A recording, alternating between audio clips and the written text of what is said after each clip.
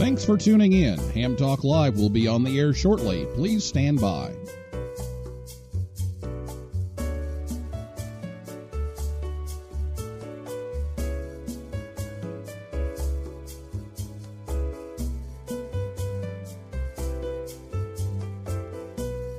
Thanks for tuning in. Ham Talk Live will be on the air shortly. Please stand by.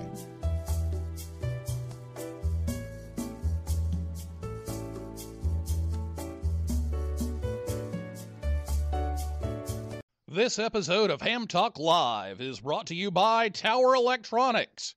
For connectors, cables, and more, call 920 435 2973 or visit pl 259.com. And by the Ham Station. Get your new radio or antenna by calling 800 729 4373 or go to hamstation.com. It's Ham Radio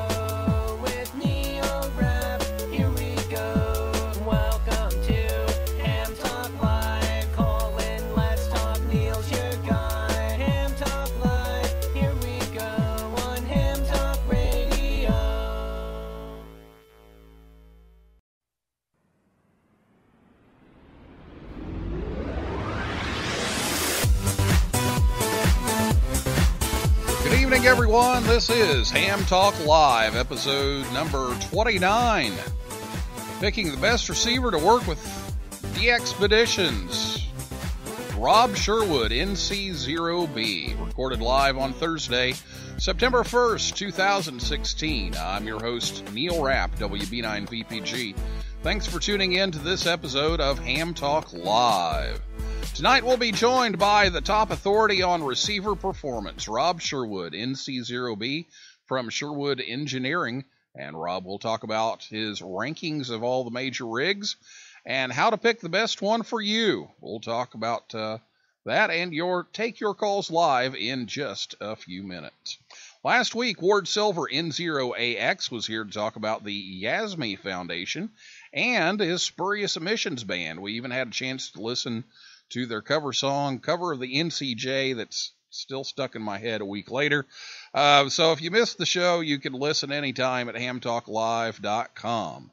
Uh, you can also listen to the podcast on iTunes, Stitcher, Google Play, TuneIn, SoundCloud, or YouTube. Get your questions ready to go for Rob Sherwood after the introduction. Uh, you can call us on Skype. That username is HamTalkLive or you can call us by telephone. The number is 812 NET HAM 1. You can also send your questions via Twitter. Our Twitter handle is at Ham Talk Live, and we'll also keep an eye on the chat box here on the website as well. So I'll be back with Rob Sherwood, NC0B, right after this word from the ham station, right here on Ham Talk Live. This episode of Ham Talk Live is brought to you by The Ham Station. For 35 years, The Ham Station has brought new and used radios, antennas, accessories, and equipment to the amateur radio community. Give Jeff or Dan a call at 1 800 729 4373 or order online at hamstation.com. Hamstation carries all the major brands like ICOM, Yaesu, and Kenwood. Shop from a wide selection of radio scanners, MFJ accessories, Heil Sound products, Mirage and Ameritron amplifiers, Cushcraft antennas, and more.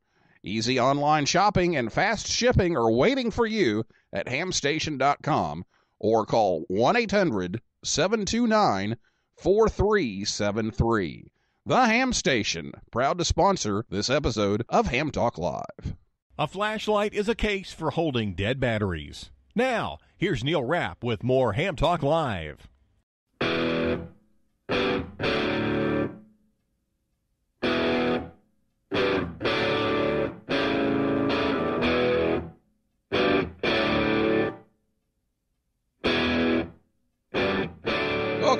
To Ham Talk Live, the ham station has you covered for both new and used equipment. Give Dan or Jeff a call at 800 729 4373 or go to hamstation.com. Be sure to listen to Ham Talk Live every Thursday night at 9 p.m. Eastern Time right here at hamtalklive.com. And if you missed the show, you can download the podcast from the website and most popular podcasting websites. Rob Sherwood, NC0B, was first licensed in 1961 with a novice license, WN8ADB, at age 14 in Cincinnati, Ohio. He upgraded to general class about two months later, and his call sign changed to WA8ADB. He operated as Portable Zero in the mid 70s out of Colorado and now lives there just east of Fort Collins. He upgraded to Advanced and Extra in the 80s and obtained his current call sign NC0B. In 1974, Rob founded Sherwood Engineering, offering Drake radio upgrades, which he still does today. He started testing transceivers in 1976, which now total over 100. That data is now available online at his website, sherwoodengineering.com. Uh, you use the first part of Sherwood and the first part of engineering. So it's S H E R W E N G dot com. Uh, Sherwood Engineering now offers modifications to many shortwave receivers and is an authorized dealer of Japan radio receivers and still makes parts and upgrades for the Drake R4C, including roofing filters, crystals, capacitor replacement kits, and even owner's manuals. So, Rob, welcome to Ham Talk Live. Well, thank you, Neil. Nice to be with you. Great to be with you uh, again. Uh, I get to see you at uh, Contest University uh, um, the last couple of years anyway, and uh, get to hear all about this. So I thought we would uh, give it a, a, chance for people to call in and ask some questions and uh, and hear a little bit about this in case they uh, they haven't had a chance to check that out. Um, one, one, one yeah. note as far as the website, you can also use nc0b.com. It goes the same place and maybe Ah. easier to remember. That would be a lot easier to remember. So nc0b.com uh, gets you to the same place. Very good. Well, in your uh, laboratory, you've made measurements of receivers over the years, and you maintain a ranking of uh, most of the popular rigs out there on your website. Uh, tell our listeners what this list should be used for, and then also what it shouldn't be used for. Well, it lists many f- parameters of receiver performance and you know sensitivity, noise floor, which are similar, uh, dynamic range, which means receiving weak signals surrounded by strong signals, and things like that.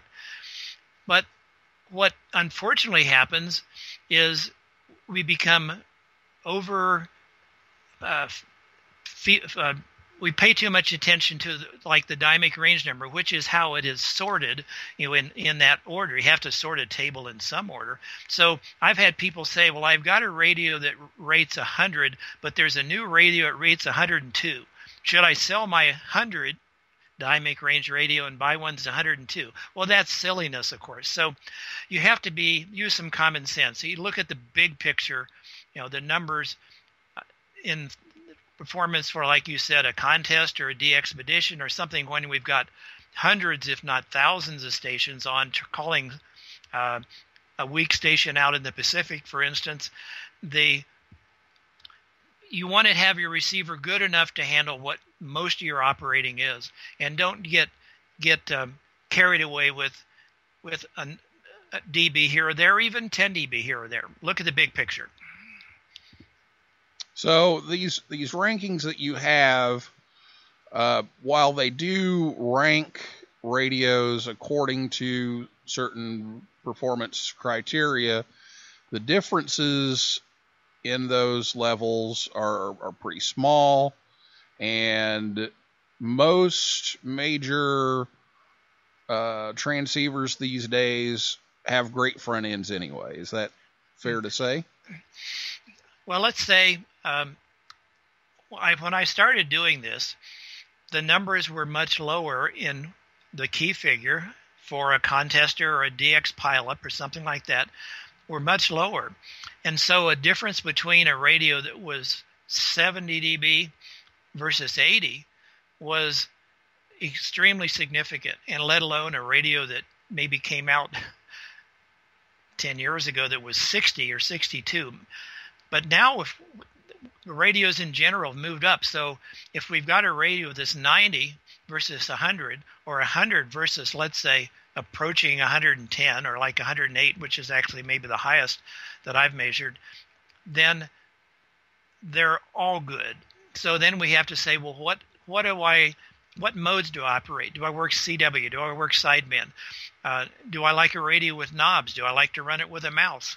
Uh, what's the reliability? How's the receive audio? How clean's the transmit audio? So we really need to weed out the disasters and then say, okay, here's my block of transceivers, and I'm going to look at all of these and then pick something that makes sense. And of course, price. I mean, we've got radios now that are really good from $1,500 to $15,000. Well, that's certainly a range that's staggering. Although, if you really go back in time and talk about the Gold Dust Twins, which were Collins radios back in the 50s, they were, by today's standards, no more expensive than some of these astronomical prices. So it isn't like we've never heard of extremely expensive radios even in the 50s, but we have to we have to look at a broad spectrum of uh, issues, including price. Yeah, so why don't you tell us a little bit about um, these measurements and, and how you uh, go about obtaining them, and, and maybe a little bit about what ones are kind of similar, so that way we can kind of know what we're looking at on these tables. Okay, well, I've got my table up here on a, another computer. Well, if you go to my website and you go to the click on the little banner goes across and it brings up the table, and we've got several parameters, and the one is the noise floor, which is similar to sensitivity. If the noise floor is good, the sensitivity is good. Well, everyone wants to have a radio that can receive weak signals, so that's a number that has significance.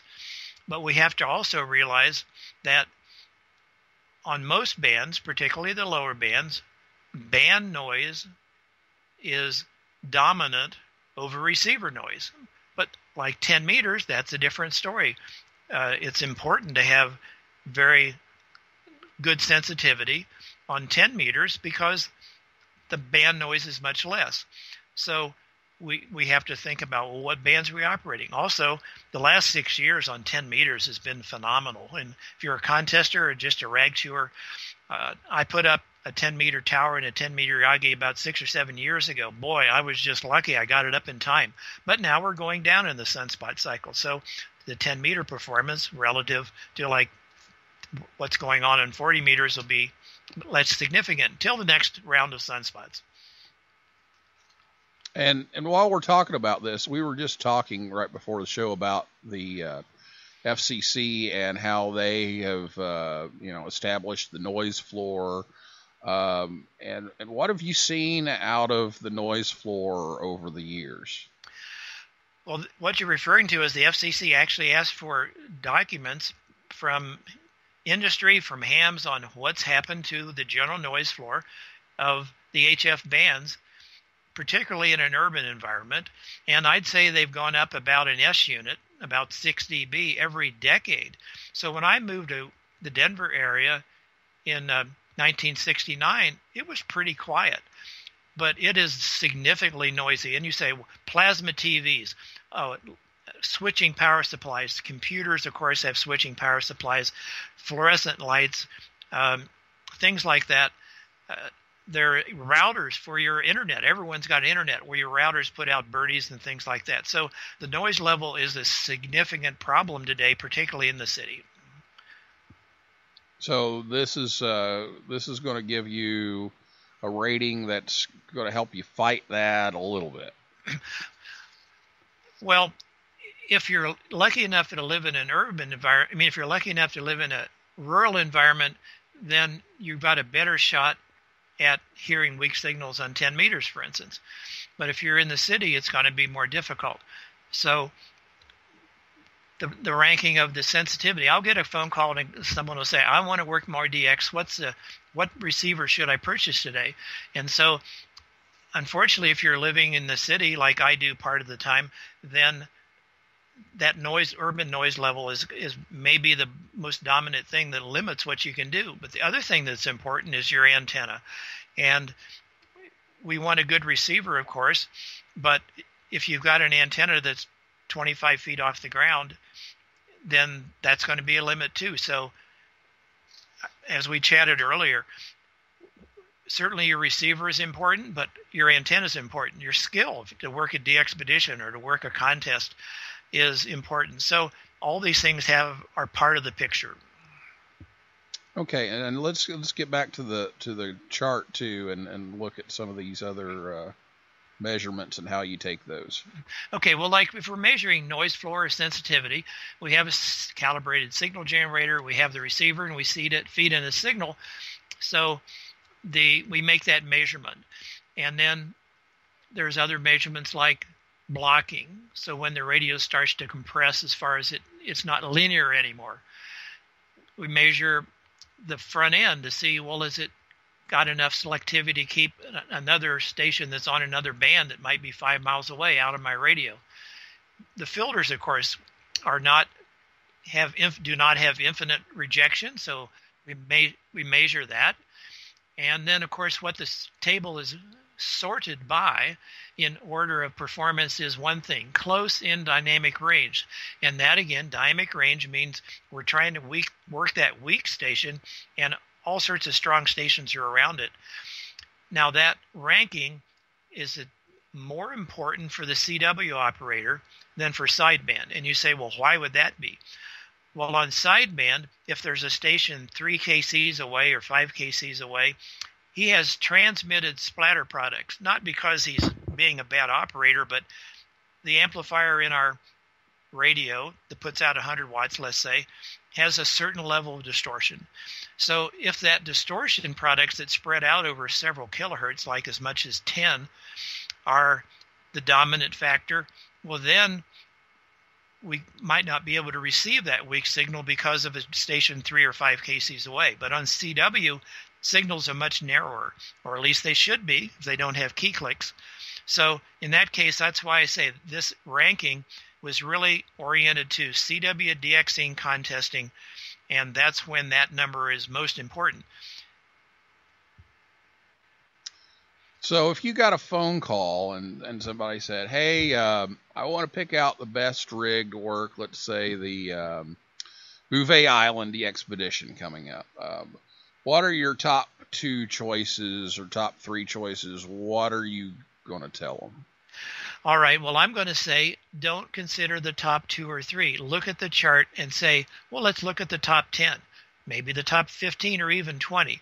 We have to say what's good enough most of the time. Now, you could always say, I want the best one there is, but there's other aspects of radio performance and what's important to you, depending on the modes and what maybe how your hearing is. To me, really clean audio is important, but someone else, they don't even notice distortion and things like that. So, as I mentioned, back in the time when the classic radios went away, your Collins and your Drake, that had pre-selectors, the performance was in the 70 dB range approximately. And then the upconversion radios came along, like the TR7 was the first one. That's a Drake. But then your Kenwoods and your Yaesus and all that, everybody went to a radio that didn't have mechanical things like pre-selectors. Of course, what was the most amazing pre-selector was the was the R390A, the Collins R390A, and the spin-offs. There were other OEMs. So that went away with the design change as, solid state came in, and so we couldn't have a mobile rig that you could hold in the palm of your hand with a pre-selector in it. But then we had radios were almost all the same for about 20 years. And they really were not adequate for CW contesting and DXpeditions. They barely worked for sideband in the crunch conditions. And that's when really my chart became significant in that in one case I modified a Drake R4C and that moved to the top of the chart.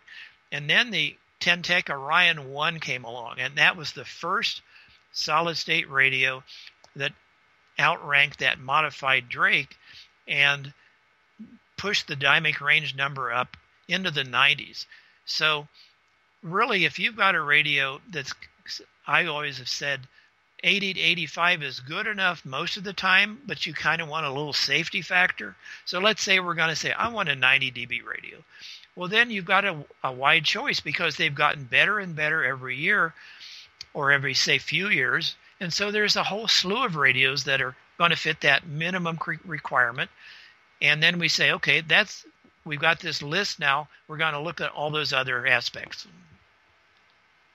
Very good. So it's not just about the rig, folks. It's your antenna, your your skill, and what your preferences are, and other things like you know how clean the audio is and the transmitter, all those kinds of things. So lots to consider. But if if you're going after receiver performance, go over to nc0b.com and take a look at uh, at Rob's numbers, and uh, he's got them all right So there. So let me give you a number, like you said, to the top one or two. Well, look at the top one or two, or two or three. We've got a flex radio, which of course is run with a mouse, although they now have a product that gives you knobs that cost almost as much as radio. And we have the K3S from Elecraft out of California, and these numbers are over 100. So they're significantly above my minimum standard. I say we really want an 85 dB radio as a, as a round number. You say, well, what about 84, 83? Let's don't go nitpicking like that. But so we've got many choices from many different companies that are going to be 85 or better in that in that right hand column that is how I sort my measurement test. But then look at the other things too. Very good. Well, we have some questions uh, from some of our listeners, and uh, I'm sure we'll get some more. So we're going to be uh, coming back here in just a minute and take your calls with Rob after we pay a few bills. Uh, so right now we have this message from Tower Electronics here on Ham Talk Live.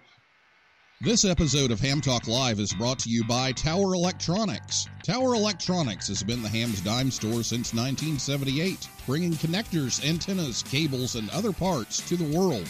Scott and Jill travel the country bringing their store to you at Hamfest, but you can also order online at pl-259.com or by calling 920-435-2973. Stock up on those supplies like PL259 and N connectors, audio cables, mobile antennas, and ham sticks.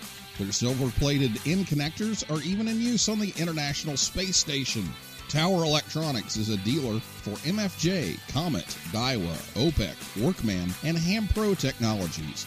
Tower Electronics online at pl-259.com, proud to sponsor this episode of Ham Talk Live.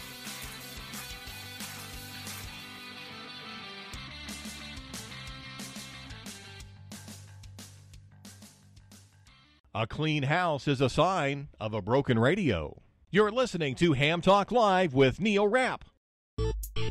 Join the conversation. Call us on voice with Skype at Ham Talk Live or give us a call at 812 NET HAM 1. That's 812 638 4261. Now, here's more Ham Talk Live. We'd like to thank Scott and Jill at Tower Electronics for sponsoring the, the show tonight to help uh, bring Ham Talk live to you. Uh, they'll be at the Shelby, North Carolina Ham Fest this weekend, and will be coming soon to Findlay, Ohio, Peoria, Illinois, and Cedarburg, Wisconsin. Call 920 435 2973 or visit their website at pl 259.com. Be sure to listen to Ham Talk Live every Thursday night at 9 p.m. Eastern Time, right here on hamtalklive.com. Also, check out our Facebook page and our Twitter feed. Just search for Ham Talk Live. All right, it is now time for your calls. So if you have a question for Rob, now is the time to call. That number is 812 NET HAM 1. 812-638-4261 or you can Skype your question at Ham Talk Live or you can tweet am, at Ham Talk Live or you can post it in the chat room and we do have a couple of uh, tweets here and we also have a call so we'll take this uh, call right here hello who's this Hi, this is Marty, KC1CWF. hi it's chicken with fries how you doing marty Doing good. So I have a your- question. yeah what's your question Yeah, typically I call when I have a question. Or Yeah. I did come up with an excuse. Um, I was just curious, Rob, what the uh, what is the radio that you currently use as your daily driver, day to day? If you just if if you were to walk into your shack right now, what is what is your primary radio? Well, I really have two, and one is the Kenwood TS990S, which is Did, their big. hang, hang on a second. Did you hear that, Marty? A Kenwood. Yes, he said a Kenwood 990S. Yes, I heard that. Okay, I just want to make sure you heard he said Kenwood 990S. Okay, It's- Kenwood is the key. Okay, go ahead. Go ahead, Rob. Okay, so actually, I have three operating positions in my shack, and the left position has an ICOM pure analog transceiver, the old ICOM 781 that had a, has a CRT in it, and it came out at least 25 years ago, and that's my reference analog radio because digital radios sometimes have funny artifacts. So if I hear something that sounds weird, and of course I've probably had virtually every modern radio through the shack at some point in time, and a lot of them in a contest. So if I hear something funny, I need to be able to go back to a reference radio and then switch back and forth. So I've got a classic analog, and then I have a fairly modern, a few years old Kenwood. I have a an ICOM Pro 3, and I even have that little ICOM 7300 that just came out soon before the Dayton Hamvention. That's a direct sampling radio. So I use them all. And matter of fact, I was on the air last weekend and we were trying to figure out which band to be on for one of my normal schedules. Conditions are kind of crazy, and I changed bands by changing chairs. so I- wouldn't say that I have. Uh, don't just say I've got that one Kenwood. I've got a Kenwood and ICOMs, and uh, and I've used the Flex and the ANAN. So uh, I've used a on a regular basis. I use several brands. Yeah, I think I think that's interesting. I think a lot of people would be kind of interested to see what you use, obviously, because you know that you know better than most. Um, I, I find I find it interesting how you kind of have like one from each of I guess what you could consider the three categories: an old old analog radio, a more modern radio with DSP, and then an SDR. Very very cool how you kind of all all three categories, and I think Neil's quite excited that one of them is the uh, TS990.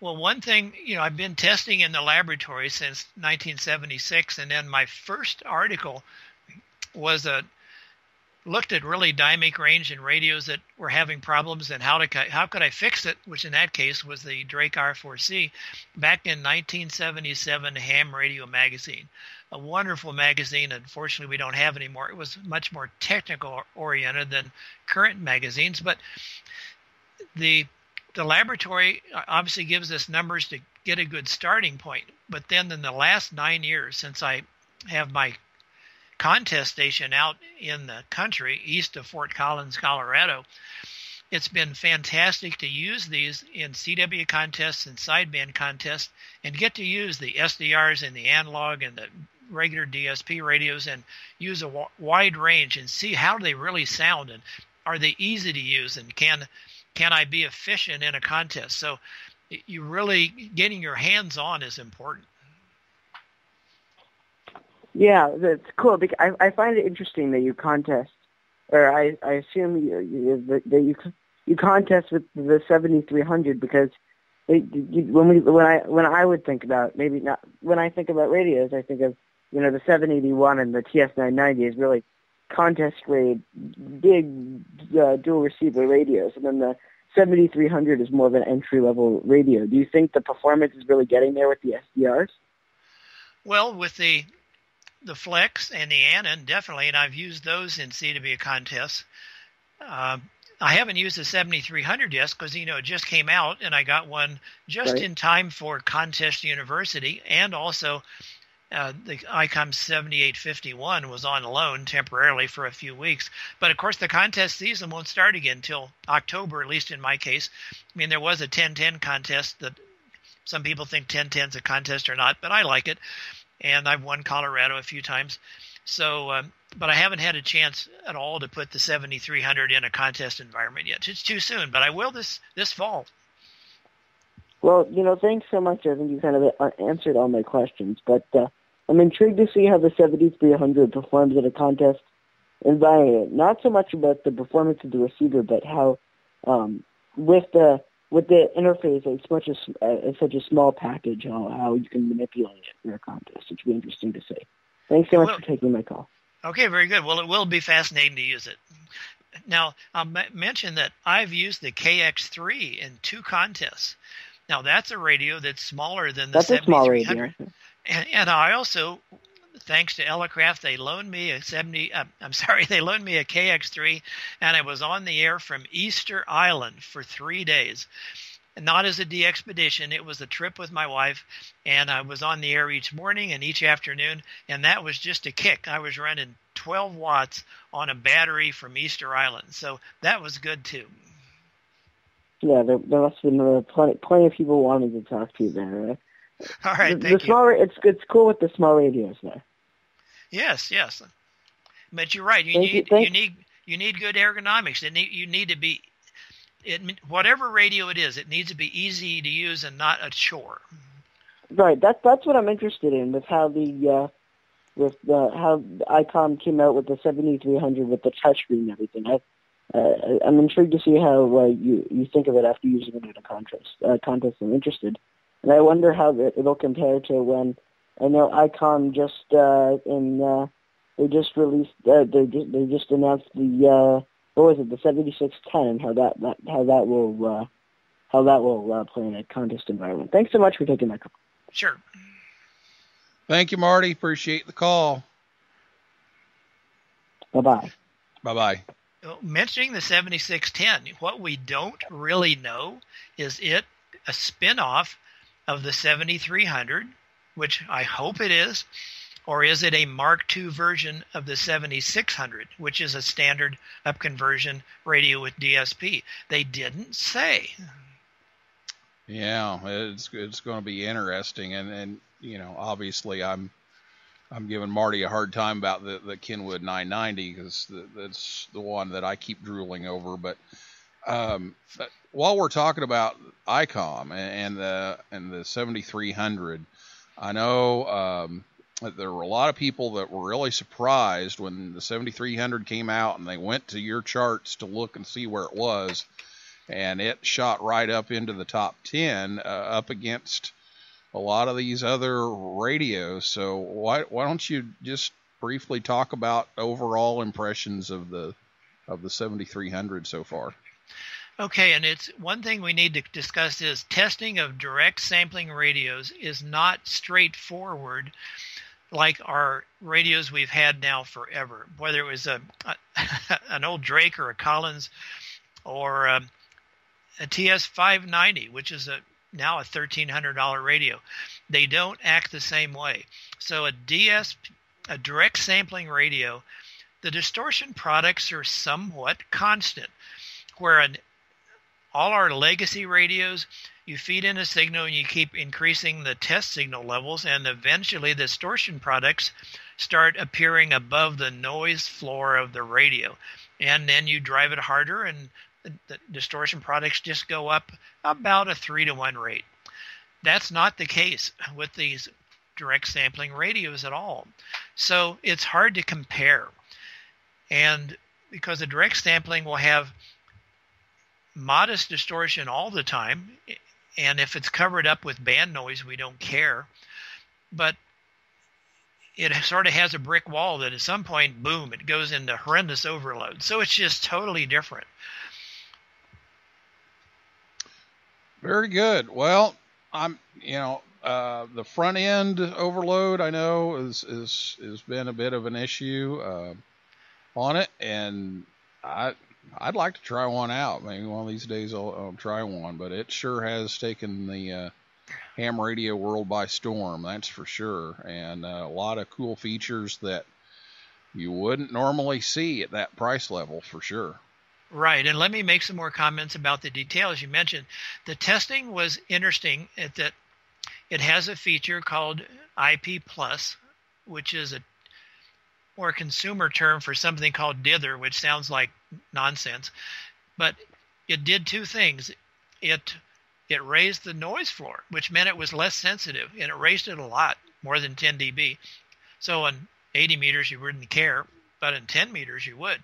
So I never run it. It it, it also was one of those strange things where because the noise in its dither, which really shouldn't be there, covered up the lower level distortion products that made the number kind of inflated. So if you read the footnote, you really should read the footnotes on my website.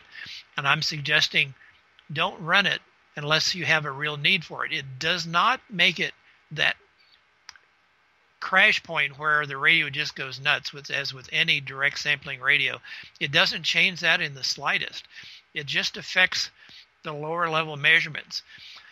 The other thing is probably not the perfect radio for field day unless you've got band filters because it's got a really wide front end. I mean, it's an entry level radio, it's small, it's fun to use. I like it, I own one. But the if you're on 20 meters and you had another station on field day on 40 meters and let's say another station on 17 meters that front end only knocks those two other bands down 10 dB. That's not much. So if you're running uh, a multi field day station, you better have band filters, band pass filters for each band. And if you're running a CW station and a sideband station on the same band, well, then of course the band pass filter wouldn't help at all. So you just have to realize what its limitations are and what its strengths are. But it is very easy to use. The touchscreen works very simply. It's not a hindrance, and it k- keeps you from having to dig into all sorts of menus most of the time. All right. Well, let's uh, take some of these questions here from Twitter. We've got uh, several of them uh, racked up. Uh, the first one says, uh, "What do you think about the new SDR radios versus a Drake R4C with all the upgrades you can get?" All right, and I didn't send that question in.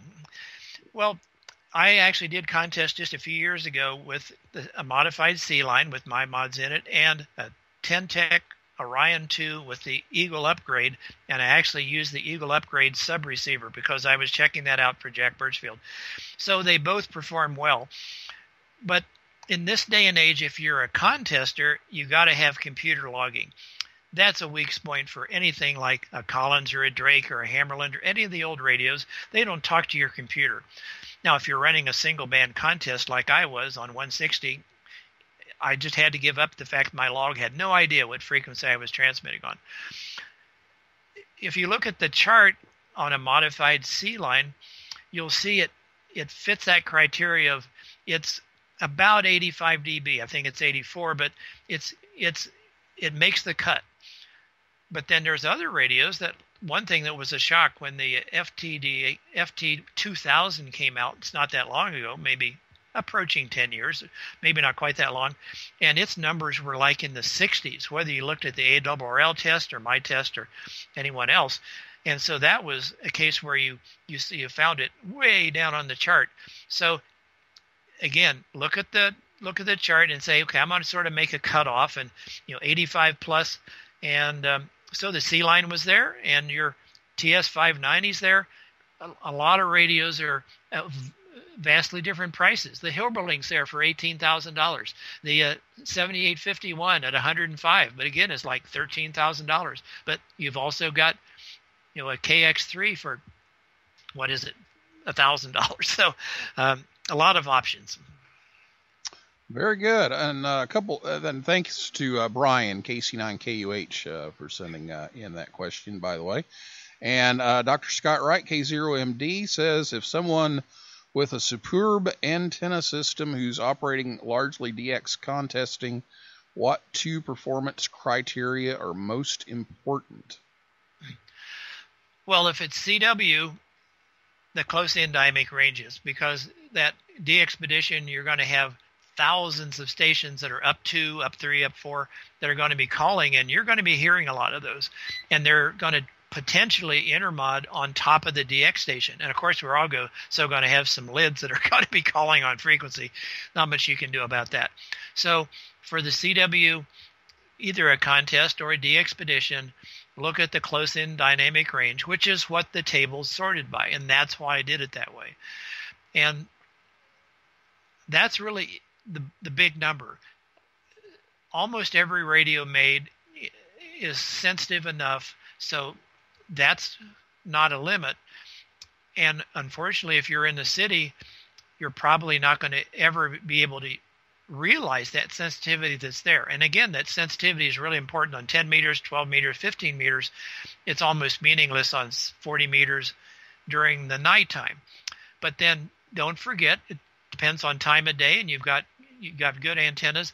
I ran into a case with one OEM that the radio didn't have a preamp on 80 meters, for instance. And during the daytime, I was listening at 8:30 in the morning, and I couldn't copy this one station on the modern radio, but it could copy it on my 25-year-old ICOM. So we do need sensitivity, even on the low bands, particularly at daytime. And also, amazingly, when I work 160 contest and I'm working JAs from Japan about seven o'clock in the morning.